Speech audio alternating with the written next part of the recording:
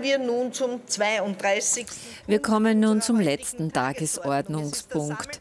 Petitionen. Der Sammelbericht zu Petitionen und Bürgerinitiativen zum Ende des Plenartags. Es geht von der schnellstmöglichen Zulassung und Empfehlung des Wurmmittels Ivermectin zur Behandlung von Corona über verpflichtende Erdkabel für 110 kV-Leitungen die Abschaffung der Deutschförderklassen bis hin zum Nein zu einer Riesenschottergruppe im Herzen Gerersdorfs.